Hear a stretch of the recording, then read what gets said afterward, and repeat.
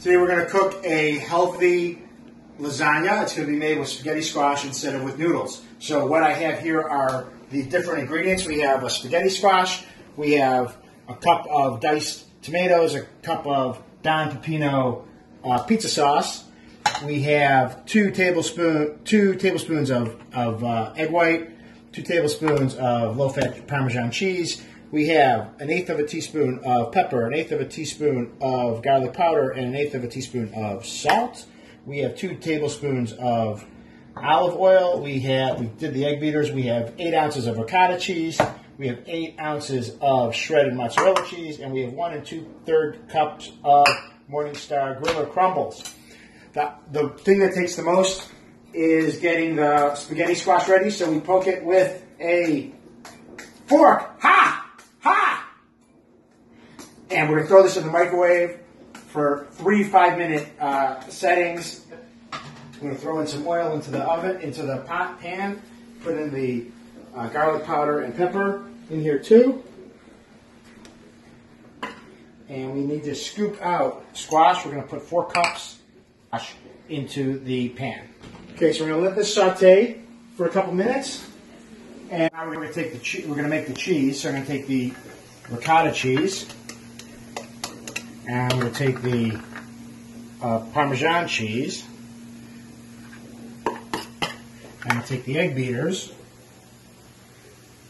I'm going to take a cup of the mozzarella cheese. About a cup there, we're going to throw that in, knock it in. We're going to take this, what we missed, and we're going to mix it up real good. And we're going to pour in the diced tomatoes, spread them out evenly on the bottom of the pan, and then we are going to add the squash.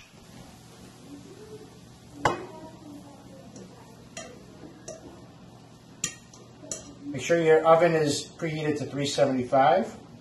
Now we're going to put in, we're going to spread the, um, the ricotta cheese mix, top of the squash.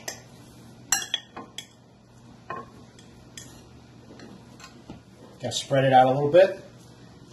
This gets a little tricky, so you just got to take it easy with it with a fork and spread it out. I keep kosher, so I'm using Morningstar Griller crumbles. But if you don't keep kosher and you don't care about kosher, you can get some low-fat uh, lean meat and spread them out here. And then we're going to spread the um, the the other cup of tomato. We are going to put this into the oven at 375 for 35 minutes. And then we're going to add a top layer of cheese and put it back in the oven again. And it's going to be a delicious four servings of a fully healthy meal with protein and vegetables. Took it out of the oven. We're going to put the I put another cup of uh, mozzarella on, and we are going to put it back in the oven for 25 minutes at 375. And that, my friends, is your zucchini lasagna.